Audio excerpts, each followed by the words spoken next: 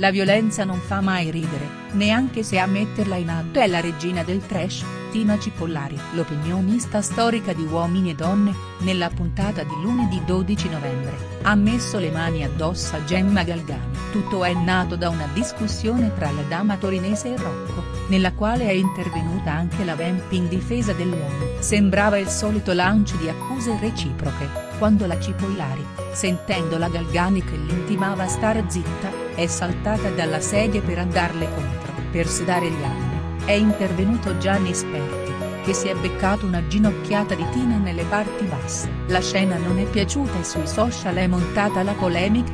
Tina è sempre più esagerata c'è un limite a tutto. Ha twittato un telespettatore mentre un'altra utente chiede, solo io penso che il comportamento di Tina verso Gemma sia bullismo. Maria De Filippi riuscirà a trattenere le ire della sua opinionista di punta o permetterà ancora che la violenza prenda il sopravvento?.